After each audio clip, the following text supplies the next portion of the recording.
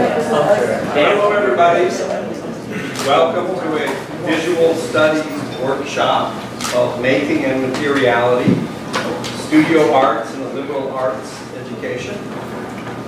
Um, the workshop will take place today and tomorrow, so there'll be two lectures today. And as, as described on this program that you all have available to you, there will be a full day's activity tomorrow, which will be at the University Museum. And at the end of my brief introductory remarks, I'll give you a map of the location where you will be interviewed at the museum in order to come to the, uh, to the talks and the concluding panel discussion um, tomorrow. So when you think of this question, of course, it depends on partly on what you mean by studio arts partly on what you mean by liberal arts education. I'll say a little bit about liberal arts education, and I'm going to allow the workshop itself to define the range of art-making activities that might enter into such a, the idea of such an education. So of course, when you think of liberal arts, everyone thinks of the seven liberal arts um, as um, formulated in the Middle Ages, grammar, logic, rhetoric, arithmetic, music, geometry, and astronomy. Um, that is a list that comes out of well-known documents from the Middle Ages. It's partly a grammar school curriculum more than a college arts curriculum. Um, and it's oftentimes, this idea of liberal arts is oftentimes attributed to uh, Cicero, uh, who said that these were the, it should be the studies that are worthy of a free, a free man, he said, a free person. Um, but if you actually look in Cicero, at least one, according to one um, uh, recent paper, we say recent in philosophy, it's in the last 30 or 40 years. Um, so if you look at the list here on the, on the left side, on the right side. Then you got mathematics, music, which is a traditional liberal art, literature, which isn't included in this list. You know, include also history as well as, as um, plays on literature, poetry, natural sciences, ethics, public affairs, um, study of uh, national history and study of foreign languages. And so already in Cicero you see a wider notion of the idea of, of, a liberal education or an education that's appropriate for a free person. Uh, if you go into the Middle Ages or into uh, early modern period, then you wouldn't actually see the liberal arts as part of a university or college curriculum without the discipline of philosophy. By the discipline of philosophy is meant these four areas of philosophy, moral philosophy, natural philosophy, um, logic, and metaphysics.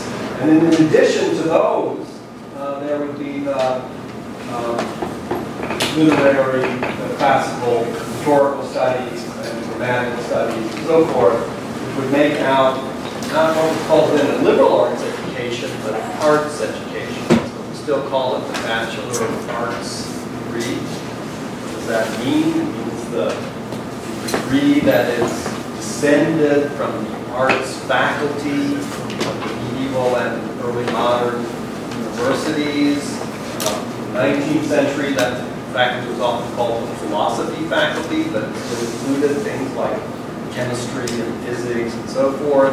It was the, the faculty that came before higher faculties, which were um, medicine, law, and theology.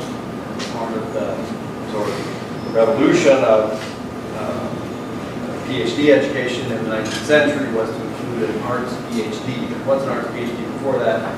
In Germany, it became a research PhD growing out of the philology seminars and then other um, humanities seminars. So in a way, it's to ask about the role of studio arts and the liberal arts education lesson arts education. So let's, explore that. So if you look at this, this listing again, which is based on a scholar's interpretation of a passage in Dante, where it talks about um, liberal arts, actually I should go back here, because in the Dante passage, it's not the seven liberal arts, but it's also natural philosophy, metaphysics, morals, and theology are included. I was struck by these um, descriptors over here. Trivium as the expression of intellect, and the quadrivium as intellect. So it's clear the idea here is that there's a body of knowledge to be learned in arithmetic, music, and music is mainly about harmony, it's mainly theory, geometry, um, astronomy. And these things, grammar, logic, and rhetoric, are to allow you to express whatever thoughts you have in this or any other subject. So, a way, you can see this as a distinction between skill at presenting some kind of material and, and uh, subject matter itself. And that's, that division between skills and, as it were, knowledge content is still, I think, part of the concept of an arts education today, or liberal arts education. I put this up here, it's the seal of the university, it's sort of funny. It sort of reads, describes these things, and includes the philosophy. Then it has theology up here, there never was a school of theology at the University of Pennsylvania. It's odd that that would be at the peak of our conception of the arts. There you go, that's our, that's our uh, seal. So I compare this idea, these ideas to the current uh, general requirement at the University of Pennsylvania, which seems to be divided between a sort of skill side, right, knowledge of a foreign language, writing requirement, formal reasoning. So it's not just it's not mathematics per se, but it's using some kind of formal reasoning structure in respect to something. Quantitative data analysis, cross-cultural analysis, cultural diversity in the United States. I was on the committee for undergraduate education, and we were thinking about this general education idea, and I said, well, where's the bubble for drawing? Where's the visual arts component as a, as a human, as a basic human skill? And everybody sort of chuckled. So this uh, workshop is partly to say, what would you get in a liberal education, liberal arts education if you added some studio or design arts making component to the basic idea of the liberal education. And we'll see in one of the talks tomorrow morning that historically, century, there was an idea that you were not educated unless you had uh, instruction in drawing. So that was an idea, especially for American liberal arts. So you've got the sort of the skill side here, and then you've got the sectors, which are which are the sort of knowledge categories: knowledge of society, history and tradition, arts and letters, interdisciplinary this stuff, living world, which is psychology and biology, physical world, physics, geology, chemistry, etc., interdisciplinary this stuff, visual studies 101 is kind of interdisciplinary uh, this stuff.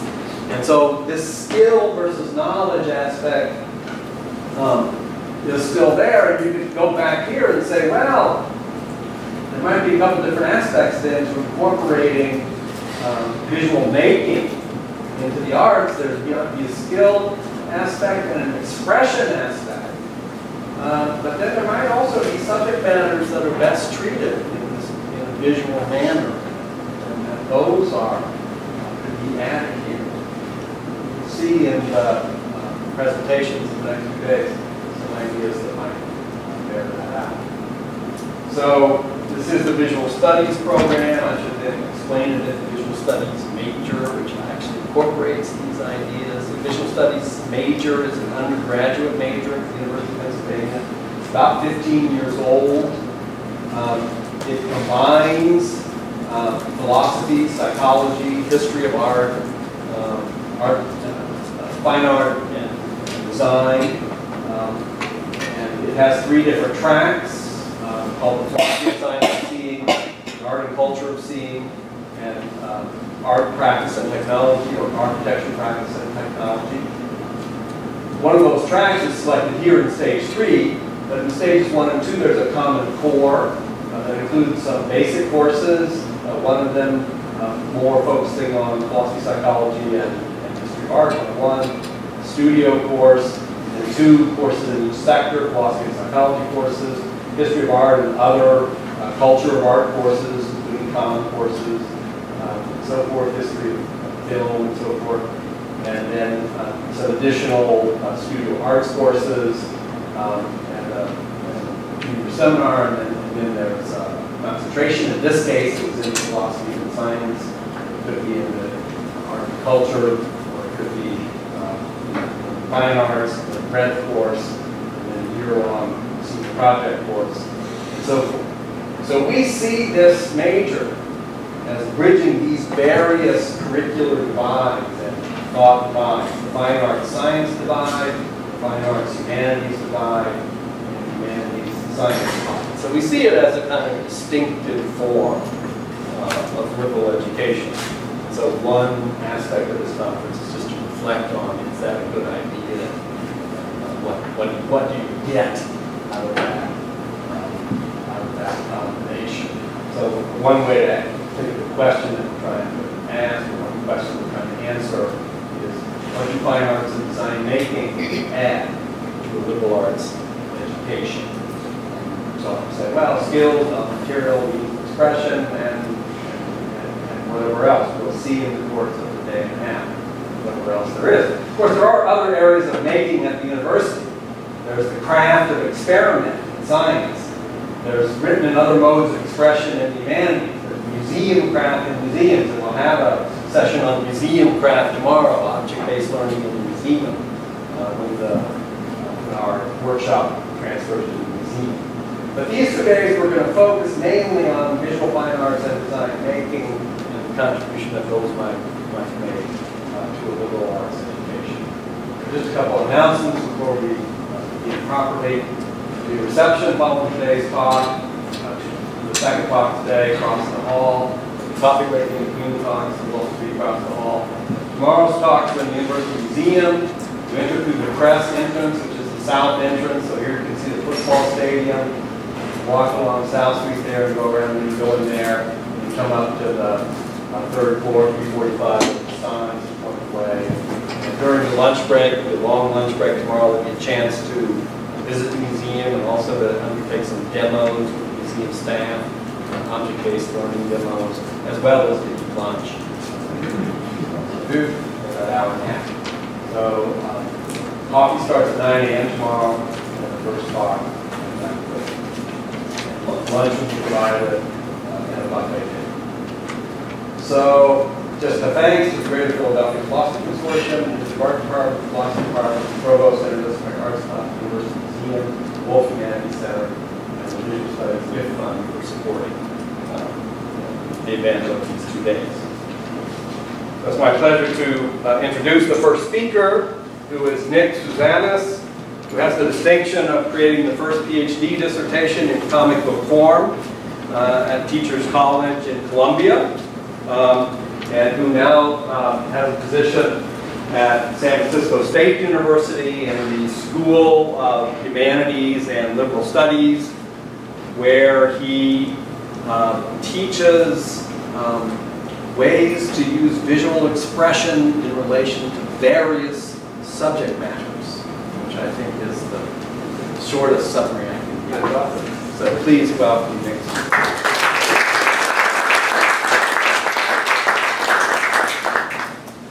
Thanks, Gary. Uh, I think that's about the most efficient description of what I do I've ever heard. Well, philosophy's good for something. Yeah. Thank you so much. Thank you, Gary, Gary and Ian, for having me here. I'm really excited to be part of this gathering. Um, so yeah, I did my dissertation in comics, so now this book from Harvard Press, and um, I have samples of it if you haven't seen it.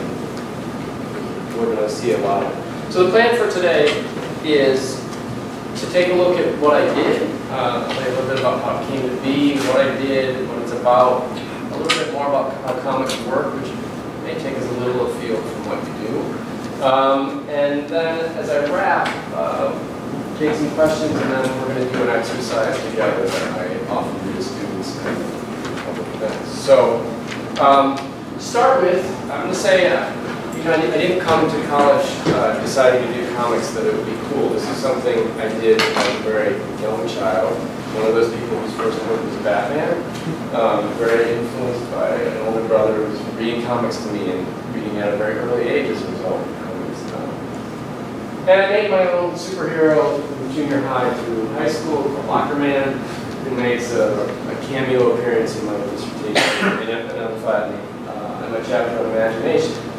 Um, I was really into making comics. It was a really important thing to me. And when I went to undergrad, at the time I went comics is not something you did, not something you studied or made in school.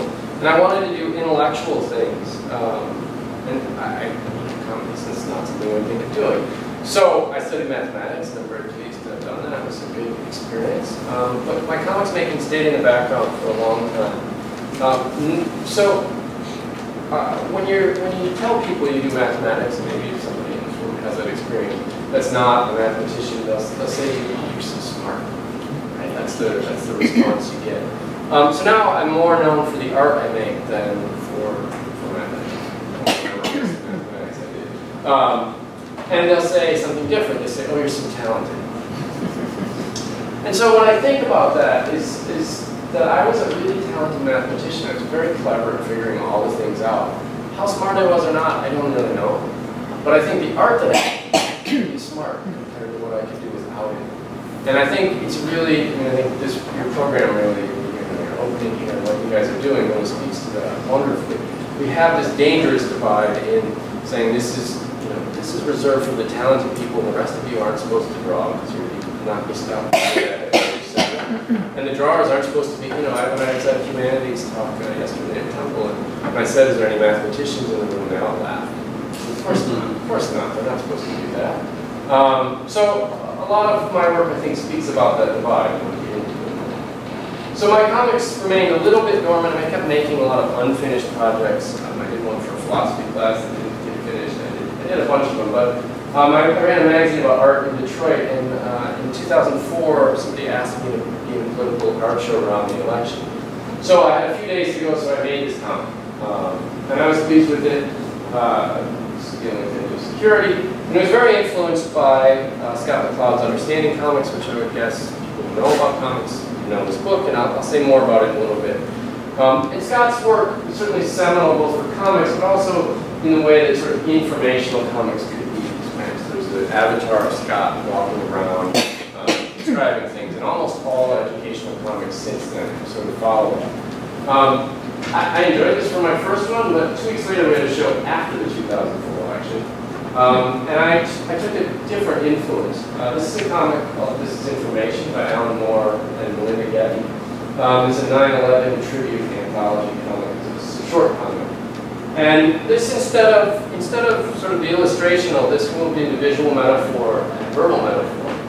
And the resonance between them, the resonance between every bit is powerful, they express symbolically feeling beyond the reach of language. So this, this play going between what's going on in the image.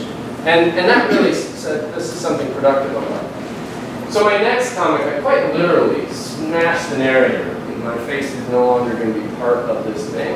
And this comic is about voting, you know, a show of hands. Um, so the entire piece is all is all show of hands. Every single panel is going to have to be a hand from the state that I came from, know, all these other things.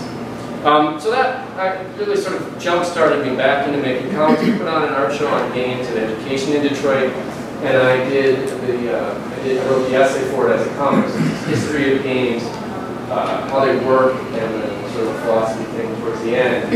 And um, so this page is about comics not being just for kids, and I'm using metaphor and all these you know recognizable images, fictional rabbits here, um, to do something that looks quite simple, looks accessible, which it is, but it's also getting at something quite deep. Um, so that's, that's sort of the of cornerstones of my work, and it continues to the 2008 political comic, where I really felt that the language was the thing that kept us apart. The reason we had trouble, my mother-in-law was not about, we got along really well, but as soon as you introduced the names of parties or those other things, we started to have arguments about, or the conversation stopped. So here is uh, making fun of the idea of red and blue, and really trying to find ways through the comics to like pull out language to find common ground. So these are the things I came to, to Columbia with and said, I'm going to make comics. Um, I didn't know any better that it was kind of a, not what people do. Um, but we can talk about that later. Um, and, and I'll say one more thing. All my comics going forward, I started stripping out the language of disciplines, of uh, fields. I, my, I have a lot of gaps in my time in school and then out of school. And I, I think I, I really loved being in the academy, but I really had a hard time with the idea of staying there. I wanted them to go outside of that. And I felt like the biggest barrier was not one of being smart enough, but really about about vocabulary. And with comics, I can do these things where I could put a lot of complexity in the images, you know, and through the images and the juxtaposition of images and text and their, their interrelations. Um, so it might appear simple, but I wasn't dumbing it down. I was finding other ways to reach people. So I came to the university with that, and they accepted me. And I was fortunate enough to have Maxine Greene uh, in her class in the very first term. Does anybody, a few of you are familiar with her work? Just a couple. Well, you should be. It's going to change today. No. Uh, Maxine was a philosopher of aesthetic education at, at Columbia from like 1950 to 2014, something like that. Um, I had her class in her living room when she was 90. She started a thing in uh, Lincoln Center for Educators. I'm a big believer that uh, the transformative powers of the arts we engage with. Um, so I had this class in her living room, and um, I made a comic about her. And instead of drawing Maxine as she is at nine, as she was at 90, um, I wanted to get something about her energy across. And I turned to metaphor quickly, and instead of that she would be wheeled out, she'd be not, not feeling like she was in good shape, and then it was time to walk. Dynamo. So this top, when the top is, the ripcord is pulled and the top comes alive, really captured Maxine. I was kind of hoping I had more Maxine fans in the audience. So I made up one shortly after she passed, which these are on our website, but we'll skip that for now. Um, Sometime after, my advisor from English education, uh, Ruth Vinz, did a book on narrative research, and she said, you can have the last chapter, do what you want. So I made a comic that is either about doing research, or it's about drawing, or it's about how we see. And it totally depends on who you are, or what you think I made this comic about. Um, and, and that, so it's, it's not just stripping out language, but trying to find metaphors so that it really could be open to access to different ways of interpreting what it meant, but hopefully getting you to the same kind of feeling at the end. Um, and so those, those are sort of the elements that define my work, is, is use of visual metaphor, the use of the comics form, and, and the sort of absence of disciplinary language. So unflattening, uh, to, to get into what unflattening is about, I'll say a few words what I mean about flat by flatness, and I didn't mean something literal. But um, sort of narrowing of our sight, I think, you know, a sort of reverse of liberal arts education. The, the drawing is not included. Um, the, the, narrowing of our sight, a narrowing of our possibilities. And because I have this word unflattening, uh, mostly from Python about comics, I turned to flat land. And I'm guessing folks here, a few people know flat Edwin, Edwin Abbott's 1880s novella Flatland. If you don't, it's the story of the geometric inhabitants, so circles and squares and triangles and lines of this infinite two-dimensional plane. And they know how to move uh, east and west and south and northwards, but they have no concept of upwards. They can't conceive of anything off the plane. So you and I can look down at a flat layer and say, that's ridiculous. Up. But the question I wanted to ask is, what's upwards for us? What are the directions that we can't, we can't know about because we can't see them? Um, and so, because I was in a school of education, because I come uh, child of teachers, I was quite concerned what's going on in the system of education. I saw as a, as a, as a form of flat, a series of steps that people go through. Um, and so that our learning ends up in boxes, whether it's boxes of time, or boxes of space, or boxes of subject. So we get to a point where you think it's odd to have somebody who studies mathematics and art and possibly happen to make his living as a pro tennis player for most of that time. Um, you think that that's an odd thing, but I think those artificial borders are what's odd, that we built them up, and we've had them so long that we've sort of taken them into ourselves. So I wanted to push back against that narrowing, that lining up of our thoughts, and quite specifically, because here I am doing a dissertation, push back against 12-point type, double-spaced, one and a half by one by one by one inch margins. not, not because it's not good, not because it's a bad thing, but because why is this what counts, and something else not? Um, you know, we, we can, philosophers here, we can look as far back as Plato, who called images uh, shadows of shadows, and didn't trust them. You can look at Descartes, who's total distrust of the senses, and you're throwing out all those things that we do. And for, for all the things we gained, I think we lost something about how our bodies work and how our eyes work. Um, so if you think any way you try to represent the complexity of your experience, you have to flatten things out. I can't take everything here and give it to somebody else. I have to. So you look at something like the Mercator projection, which we're all familiar with, it's really good at navigating the globe. It's really good for latitude. it's really lousy for area. You know, Greenland's not that big.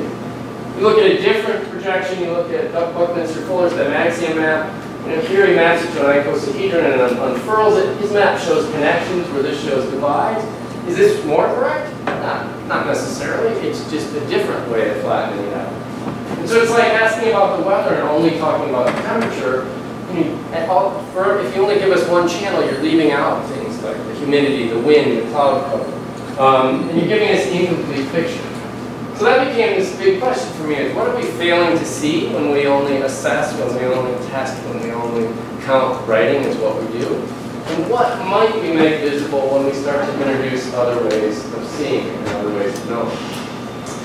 And because I talk about ways of seeing, in, and I do mean it in a literal sense because this is a visual work, I really meant ways of seeing in a metaphorical sense as ways of knowing. So I have this page, it's a little bit of an apology for, for that language, but also it really think it sums up the work well. So I introduced my dog into the work, and, and you know, you all know a dog sense of smell is stronger than yours. You know that. Um, but what's really true about it is more nuanced, which means I can come up here and I see the color of the wood here, I see the sharp edges, I can see those things. The dog might not see that as well. But the dog knows if somebody gave a talk here an hour ago, two hours ago, sometime this morning, yesterday, maybe back a whole week, things that I have no idea, you know, unless they, unless they wrote it down here, I can't tell. So the dog has access to layers of time, kind of upwards that I just don't experience. And, and that's not an argument to say we're all going to make smell, smell feces in the future. Um, but it's to say, how do we bring in those other ways of knowing, other ways of sense making into what we do? And so unflattening was this ridiculously simple idea that, you know, this is not the same as this. And neither of them is right, but what happens when we, you know, when we bring both of those in, we see the world in a different way. Um, and we, you know, we, we, we uh, displace from sort of a narrow point to have to coming from two at the same time. And maybe that, you know, bringing in multiple points gives us a different view of the world. Um, so for me, comics was this thing that I loved to do, but it was also this way to be amphibious, to breathe in the worlds of image and text. And, and maybe find ways to step out and get a different look at the boundaries of my own thinking. Maybe get beyond the ways that I, that I was able to do things. And I think I see that, I think that's been very much true for my own process and with my students. Um, so we'll, we'll say some concrete words about comics for a little bit here. I mean, we're at a point where comics are, people are excited about it, university classes, um, there's all kinds of stuff. And we tend to see it as this sort of new phenomenon. And, and yet, it's something that's older than film in ways that we sort of recognize it as comics. And in fact, if we look through history, thing, comics like things have been around a long, long time. And I'm not going to say that this is a comic, but I am going to say that this is a way of sense-making about the world that people do visually. That's as old as we've been us. And I think when we talk about what kind of literacies matter, when you've got people who snickered about drawing, like this is one of the things that help make us be who we are, and yet you get in a room full of people, you're going to have, you know, 7% of them that say we can draw, you're going to have the rest of them that say you don't. You can't say that about writing. Nobody's going to, they won't admit to it. But it's not going to happen, because we value one and we don't value the other. But I think we're, we're doing a disservice as visual creatures to what we can actually do.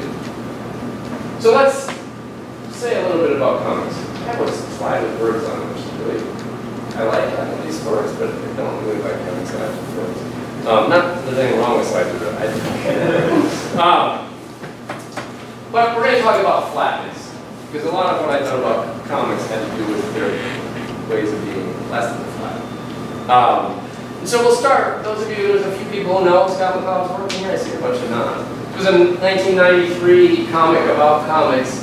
It's again, it's a seminal work. Educators picked it up, librarians picked it up. It's a big reason we see comics in classrooms, and a big reason that comics are sort of expansive in what they mean uh, going forward. We're going to start with, with his definition, McCloud's definition. We're going to use that to go farther, and I, I recommend that if you get into comics, to start there, but keep going. So his definition is juxtapose pictorial and other images in deliberate sequence. My fist, there's a nice box around it. My fist again, there's another box around it. Between these two boxes, nothing happens. Comics are static and they are flat. But you all make the action happen. You all animate. Okay, so comics, in comics, time has to happen in space. You don't move like movies where time is happening in the cogs of the wheel. They happen in the space of the page, and the reader is responsible for the, the making things happen. And, and, and thinking about its definition is one way we can think about time moving in comics in sort of a linear fashion. We move from winter to spring to summer to fall. Um, and, and yeah, so we'll say enough about that. And so that's, you can look at this page of mine and say, sure, you read it left to right, top to bottom, it's read sequentially, and that's how it should be. But at the same time, because it's visual, because of how we take in things more than one little spot at a time, you can't help but start to make connections from lower right back up to the top, and in multiple directions. Which means if I ask this question very quickly, when you read comics, for those of you who do, and you all do at some point, what do you, you read the words first? Who reads the words first?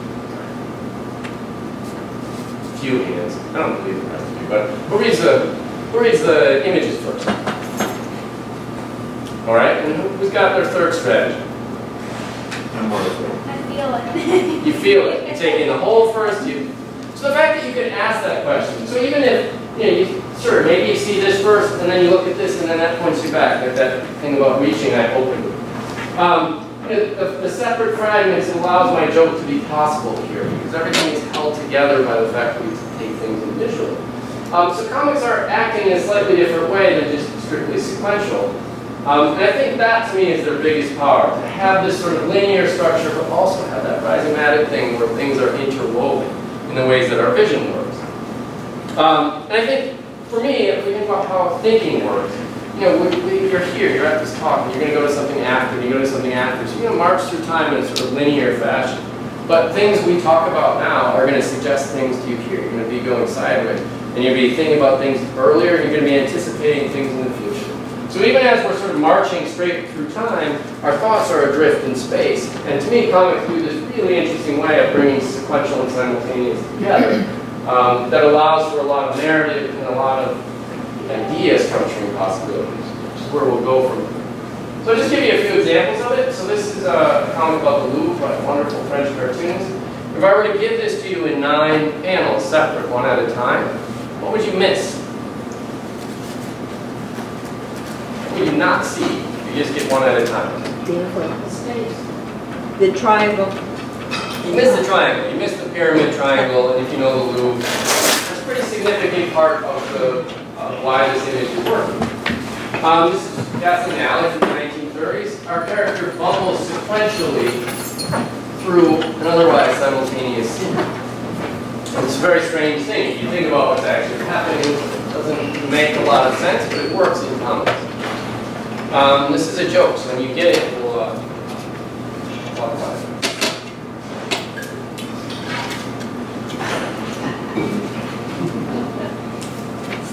So our little guy here, the only way he can get the fruit is that he lives in comic book land, where time and space are mashed up in a sort of unusual fashion. Um, you can move back in, you can move back in time. I mean, you do these things that are really hard to explain. So it's a lot. It's more than just setting pictures next to each other. Something else is going on. Um, and so comics, you not only care about the things you draw in the spaces, you also care about the sort of holder, what the whole composition is doing. So Winsor McCay, comic, the characters are interacting with the thing that is holding it. So whole idea of space is kind of mapped up. Uh, Nina Paley's cartoon becomes a psychological space. Uh, the frame eats her up in this. Um, so this is a page, and this is going to hint at the exercise we'll do when I'm done here. Um, this is a page of mine where I did the structure first. And that's become a big thing, is how much I, can I think about the shape of the structure to get the ideas across? How can the content come through the form itself? So I did the structure first, and from that, um, I figured out what was going in it. I knew the feeling of what was going in it, but I didn't know the specifics. So I wanted a a routine job, and then I wanted sort of morning and evening to mirror each other, and the commute to mirror each other. Um, so there's the page. So, so I made a book that has no repeating compositions at all. Each page has its own design, except for this sequence here. So this is the first time this happens. It happens again, and there's a slight disturbance. Discovers our little egg, and he has a thought. And the next time it happens, his thought has either grown or this very hungry caterpillar has started to eat the page. And by the last time it happens, the page has fallen apart. The structure structure's falling apart, and that's part of the conflict. So this idea, of rather than illustrating, come back to how I started this, how can I get the form itself to do the work? So this, this is from the chapter on ruts or routine, and I'm contrasting the usual commuters out and back with my wife's commute in Manhattan, which was different every day, different paths, different endpoints all the time. Um, and so I could, one, I could say, here's, here's her commute, here's the regular commute. And I could do that in sort of straightforward, here's one, here's the other. But I wanted to get a way to embody the work, embody the idea in the very structure of the page. So the background, the 16 grid there, is repeating the same thing. Boom, boom, boom, boom, boom. It's darker, but it's the same image over and over again. In hers, I noticed how Manhattan looked a little bit like a leaf or a feather that, you know, as it's drifting down. And I could have, I could, because her, her walk was like a, was like a, a drifting, a, a, like that same kind of swaying. So, so I have these multiple layers of information sitting on top of each other. I mean, it's linear in some sense, sure, you read it one direction, but where to encounter the different images starts to mess with you, and it starts to, it looks pretty simple. There's a lot of density of information going on in it. Um, this is a page after the book, for the Boston Globe uh, uh, comic about entropy. And the, my idea here was to talk about, you know, entropy's things run downhill, things fall apart. But I want to talk about the moments where things go against the stream, go against the flow, um, things like life. And so the comic starts out in this very linear thing, and omelets can't be put back together, your laundry won't pick itself up, um, your coffee will grow cold. So it's quite straightforward, and it continues as these things fall downhill, but then it starts to shove you here, and then the comic drops here, which is still fairly normal, but then all of a sudden the way that things go, you are forced to go right to left. And then you're forced to go bottom to top before you're sent back out of the, out of the comic. Um, you don't normally read right to left, I suspect, and you certainly don't normally read bottom to top. Uh, so, so we're not just talking about images next to text, we're also talking about how we can use the space to convey ideas. And again, that'll be what we look at in a little bit. So for me, as somebody who draws very detailed things, the hardest thing is actually figuring out how I want you to move through it. And there's about 50 notebook pages that went into this, and you know, like here I finally found the structure. Um, you guys be faster at it than I will be. So I really like this. I mean, we tend to think of comics as uh, pictures and illustration. I mean, sorry, prose and illustration. Um, yeah, text and image, whatever. We tend to think of it as that. But I think this is a better definition here that Cartoonist has, the poetry plus graphic design. So if you think about the pyramid one, if you were to lay it out as nine things, it loses a lot of its meaning. In the same way that if you took a poem that has this nice rhythm to it and just said, here's a line of the poem, the whole thing is one, it loses its structure. So I think comics are in some ways sort of incompressible like poetry. So, the, the first side of the argument is that I think comics are really wonderful way to represent the complexity of our thinking. They're, um, they're a way to get at, at the ways that our thoughts are both this sort of linear sequential flow, but have the tangents, have all these things that, all these ideas you have when you're out running that you're not quite sure how you fit them on a line piece of paper when you come back inside. Um, so that's one half of it. The second part, which will sort of move toward the ending here, is that they're a really powerful way to generate our thinking. Um, and so, you know, I, think we can think of drawing as a way to have a conversation with ourselves. Um, I worked alone, but I think having my drawings was this tremendous, uh, tremendous collaborator. Uh, you know, your visual system is doing all these things all the time. It's making all these decisions. It's, look, it's making relationships. And when you put it, you put it to work in looking at a mark you make, you start to discover things you don't expect start to see things you don't expect in a cloud. You start to see things you don't expect in, in a stain on the carpet. So I get the question, do you think of words first or pictures? And I say yes. because I put these things together and in some way I feel like I almost let go. Because I have an idea I want to explore, I have some ideas for images that might work, and then I start trying to figure out how they work together. And it's very much sketching, repeating the sketches, and seeing things accidentally in the work that sends me in directions that I need to go. So I share this, this is reproduced in the book, this is the very first sketch, and I really enjoyed sharing process sketches, which we're going to end with a couple process things. Um, because I, I think for people who don't draw, you tend to see finished work as sort of magic, you know, it's emerged full-born like Athena. It, it, it's, You know, but, but to see the mess that we go through, the struggle that you go through, the iterations that you go through, I think starts to mean something that you can do. Um, I also like to show it because I think uh, one might say this is a picture of my thinking, but I don't think that's true. I think this is my thinking. Without this, I, I can't make this work. I can make something else, but I didn't write a whole bunch of words and then say what pictures go with it. I had to do this, and I had to discover where I was going through doing it and doing it again and again. So I want to give you one very detailed example and one slightly more general one to wrap up here. And uh, so this is a page about, about multimodality. And the hard thing about the work I make, I think it's hard, um, is that I have no narrative, no story. Is not a, this is about ideas. And I have, as I said, I pulled out, there's no narrator, there's no me walking around to like hold the words and things. And there's no characters, there's no story. So each page, I have to figure out, all right, what's the page going to be about? What do I want to explore here? Um, what sort of visuals will start to carry that? What will work for that idea? And then how do I want the reader to experience it? So those kinds of constraints are sort of the genesis of it. I don't work in color, so I think the multimodality page in particular would be quite different if I had color as an option. Um, so here I started with this idea of an omelet. Seemed like a good thing, an omelet, and it's got lots of different flavors, but they're kind of all whole. And multimodality, sorry, I should stop. Multimodality, a familiar term to this whole room. But if it's not, you don't have to nod. Uh, sorry, teachers are all like, they just say, of course we know, everybody else is good.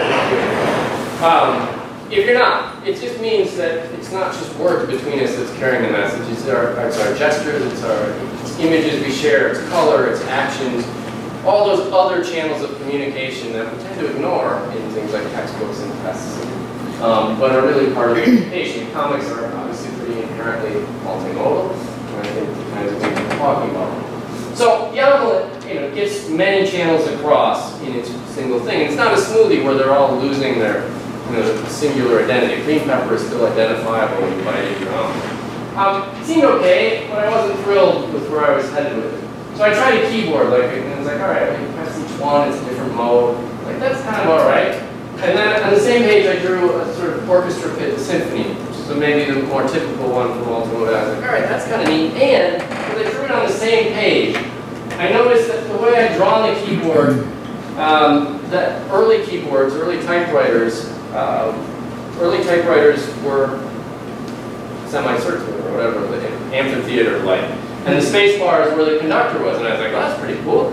I didn't know I was going to do that, so I like it. So I'm kind of excited about that. So I made some other sketches, do ahead, like, all right, got all these things, but they only come out through this sort of thin channel. So I've drawn that, and tried it a couple times. My shorthand version, because no, once I draw it once, there's no reason to draw it in any kind of detail again until I'm, I'm like, so I drew it quick. This time I drew it quick, I'm like, wow, that looks a lot like the keyboard I drew. I'm like, well, that's really interesting. Now I've got something else going. So I got this keyboard, I've got the head, I've got things coming out. And what I'm also going to have is a little, a little paragraph uh, that sets up what is multimodality. So I'm going to introduce the concept. So things are coming together. Um, I've got main image, I've got this little setup, and I have one big problem, and it's a particular to comics problem, so I won't let you answer that because I think you know. Um, but I'll say the problem, I'll just tell you guys for, the sake of time. Problem is that I have you reading, I have you reading, I have you reading, and I put you here. And I've given you no way to come back up. And it's a problem that I, I don't have all those uh, things, but I need you to get back up to experience the whole image. I have to get you there. Um, so the cheat would be to use an arrow. Like that, you don't, you know, that's not cool, but you could do it. Um, so because I'm really struggling with it, I sketched this arrow. I'm like, well, all right, that's the flow. That's what I need to happen. And when I did it, I noticed that that arrow was not that unlike my thumb. And I said, oh, well, of course, this is a keyboard. Why aren't there hands on it in the first place? So now I've like, things are coming together. I've got this hand, I've got the thumb, I've got a way to get back up. I just got to put the page together. Easier. And so you can see some of the decisions here. From the from the top, there's these clouds that are both clouds and they're thought balloons. There's a big gap between them and this other part. There's, some, there's the bubbles there that sort of keep you there. I'm not too short to see this. There's this thermometer that goes back to that example I gave earlier. It's like dropping you down, it becomes the guy's head. So you're sort of forced to stay on the left side. You stay there, you stay there, you stay there, and you hit here, and I did something odd here. It's not, it's not a squared off box, it's a curved off one. And that curve says, get up there.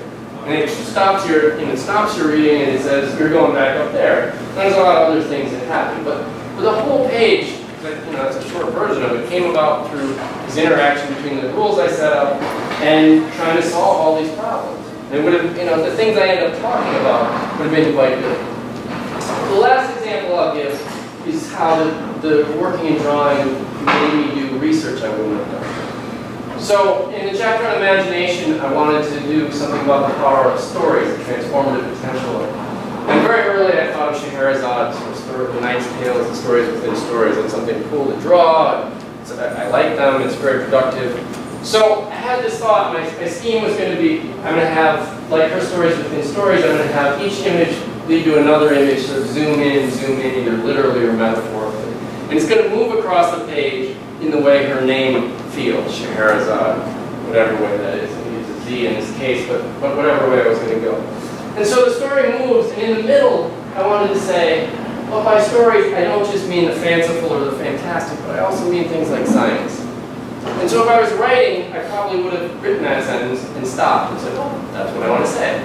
If I was illustrating, I might have done that and maybe just drawn some science thing. But here, I'm trying to find some way, how does the page embody that idea? How does the very structure do it? And what, what represents that? What's the right thing? So I spent a bunch of time looking for the, the time that the Knight's Tales were written down, where they were written down, um, what's going on in science there, and I stumbled on the work of a man named al-Tusi, um, his, whose astronomical calculations in the 13th century, uh, somewhere on there, um, later were picked up by Copernicus to do his revolutionary work, uncredited. Um, and I already had this page about Copernicus, so now lots of pieces are coming together. So I spent a couple weeks researching this obscure piece of Arab astronomy um, and dealing with the compositional structure that I had to solve, all because the drawing asked me to do it, and all for what resulted in these three little panels. So I had to make sense of it enough, I had to learn it for myself in a way that I could then bring it back um, for that small thing. So the point there, there's nothing in my outline, there's nothing in Teachers College, edu Doctorate of Education that says you should go research Arab astronomy from the 1300s. But, but the drawing said, you need to solve this, and you need to go. And so for me, I think the drawings really pushed me to do things I wouldn't have done. It pushed me to understand things in ways I couldn't. And so I want to end with not my work for a second. I want to show you one student work, and I, I may show a bunch more when we do our drawing, uh, depending on time. But um, I want to end with students' work because I, I know that the response I often get is, we get it, we're, we're cool with this, but we don't draw. Like, this isn't going to, you obviously spent some time drawing. Um, so I want to show this. This is, a, this is my postdoc at the University of Calgary, a class called Comics as a Way of Thinking. He's an extremely shy student, um, not trained as a drawer, didn't leave trained as a drawer either. Um, but I think this is one of the most powerful things I've seen. I have three pages from it. Um, and I think you know, anybody who you grab off the street probably draws about as well as she's going to draw. Um, so this first, this first page got these very negative words. And she says sometimes she can feel the weight of the words on her shoulders. She's doing already a lot of play of image and, and text going on with the weight of the words. Um, and then these positive words that are lifting this thing up, but she is strong. And she did a lot of play with the panel breaking, like I showed you guys earlier. The panel itself is a character in the story. So this is a story about a girl who couldn't fit in a box. And so the panel is both framed, but sometimes it's trapped, sometimes it's masked. And they laugh in the boxes that fit as she, as she contorted and twisted, unable to find her place. And then the final page. So she makes her own box out of words, sounds, and pictures, and soon she learns that there is no need for borders, that boxes restrict her unnecessarily, since she can go anywhere she wishes. Um, I think this this is something I don't think she could know about herself without working visually. And it's not because she suddenly became a master craftsman with her hand. Because she understood things about space. She understood that drawing was really about making relationships in space and organizing your thought. And I think that's something that's open to everybody, and I think it's really important for every curriculum to include it. You know, so uh, I think that's, that's what I want to end with, to say, I I think, you know, as educators, bringing this stuff into people's lives really makes a huge difference. And I think that's where we need to go. So I'm really grateful to be part of this conversation, because it's a good thing to be part of. Thank you.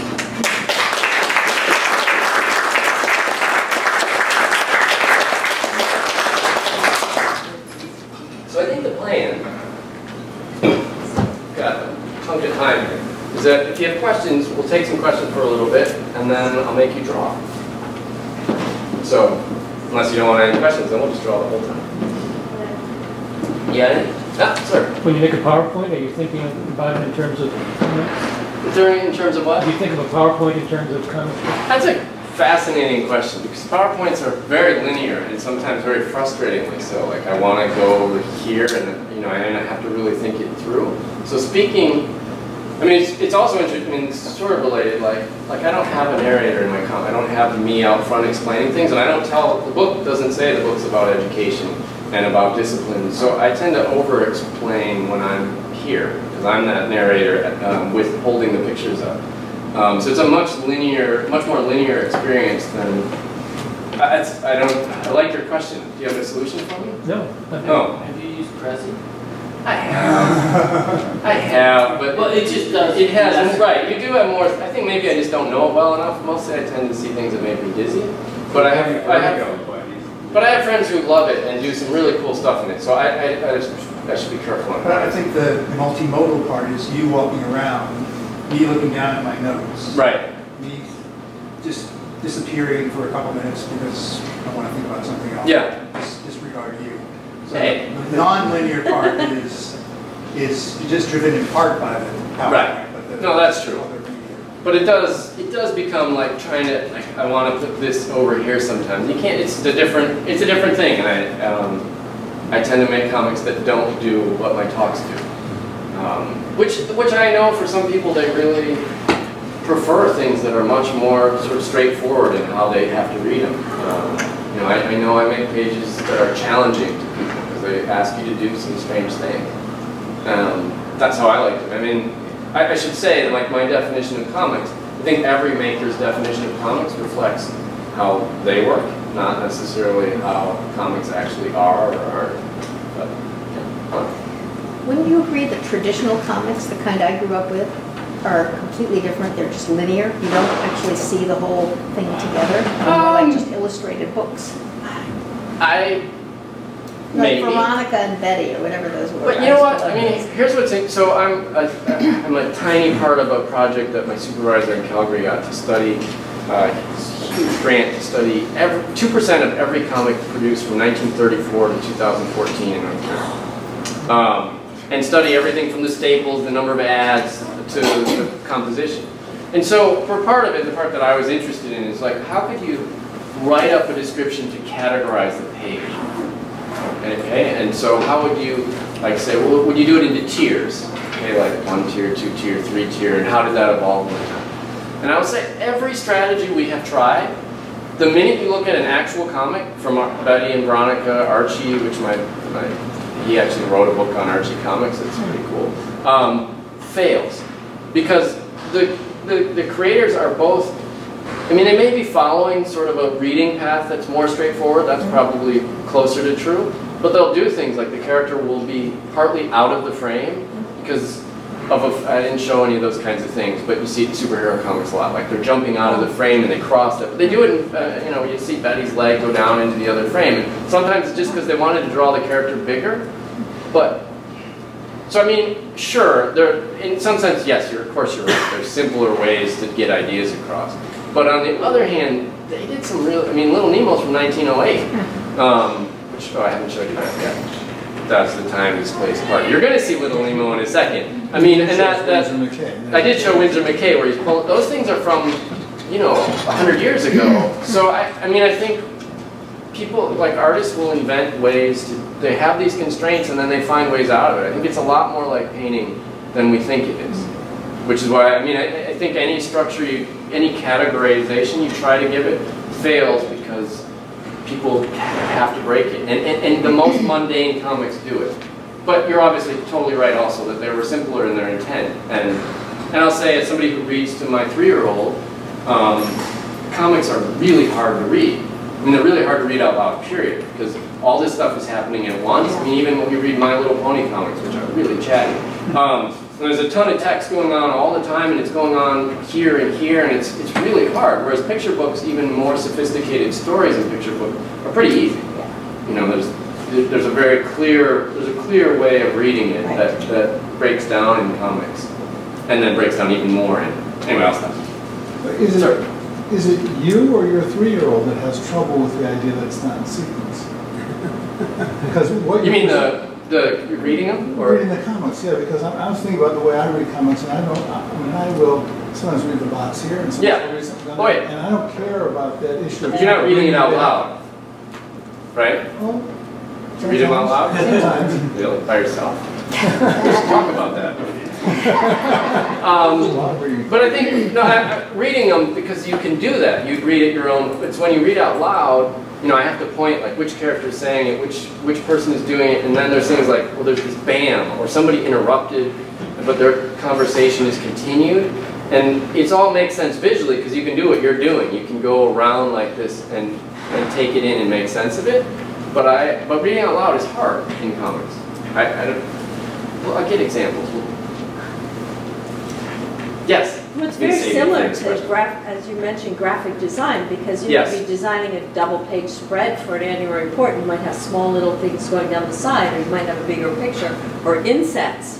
And you have to imagine how all those things could flow and be beautiful on the page, or very attractive, to hold someone's attention. But it's actually the same, because you have these, you know, you're, you're, are- you're telling a story. So it's, it's basically grid, you know, you're, you're graphing. Yeah. And you're illustrating, whether you're using pictures or drawings or, and little bits of words Right. to pull something out. No, To, absolutely. to give a presentation and it affects someone. I think you're right, and I think that's why I like that passage from Tufte. I mean, that's not a passage, I was just listening to him. But, um, but I think, you know, people ask me a lot when I'm like, have you ever thought about animation? And I kind of wonder if they heard the whole talk. But um, it's all about the, the, the very static, the flat and static nature of comics, that you can do these kinds of readings at your pace. That what's, to me, that's what makes them really powerful. And, you know, animation is a different, it's got its own different beauty, but not that. I'm gonna jump to the one comic guy and you. Oh, Well, I was just on the, on the cinema stuff that everybody always wants to talk about, this is desire to see the engagement level of the being cinematic. I think of comics because they're sequences, it's a little cinema. right? Yeah. But cinema engages a different type of your brain, and you have to follow it in time. What you're seeing in comics, and particularly in your comics, is that when you flip a page, there's that graphic design sense that unifies the entirety of the page, and you get this engagement, re-engagement thing that's happening in different modes Yeah. you know, and it becomes a complete unit for a page. So the difference between that and cinema is like the difference between the reading experience and cinema. Right, you know, that's good. You can be reading a book, stop for a second, right? And give the change to your bus driver, not the subway or whatever, and- and then go right back to where you were. Whereas if you were watching that movie, you've got stop it, go back, Right. rewind, all that. Right, right. So you disengage. You're disengaged, right. And just so you know, then we'll move to the next person. Robert Berry, the author of the ongoing Ulysses Seen, adaptation of, of Ulysses in the comics. Um, you should ask him questions about it. Who also teaches here. There's a plug. I'll do it. I, don't know, I only know three people in the room, so. Um, yes. Well, that leads directly into what I was going to that's say. That's what I asked you for. Um, and I, my impression is that, that your work is very autocratic. Autocratic. Yes. I know about It's very structured and you have a very definite idea about how you're going to Oh, I. navigate this page.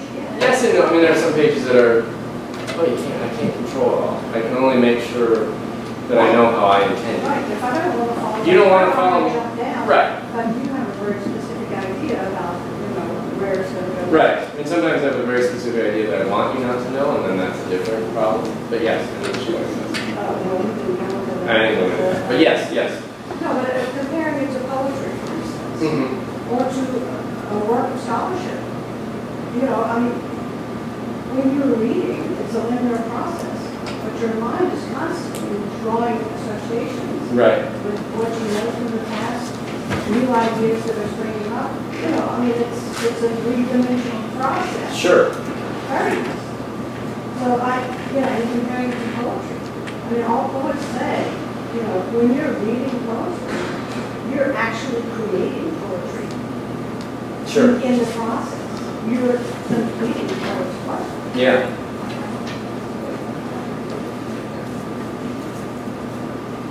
Uh, I don't know, I don't know, what- I guess I, autocratic sounds so horrible. No, no, it's not. Uh, It's, it's, it has an edge it, but no. Yeah, I mean, I think the thing you, what you, what you want to do, I'll say my, my wife uh, is a painter, not really writing comics at all. Um, so she's a really useful reader because you want to make sure people know where the, you know, I mean, in a way that she's talking about Archie comics. Like Archie comics, for whatever I may have said that they, if they break a lot of rules, there's still, you know that this box goes to this, and you make connections all the ways that you do because you see it all at once.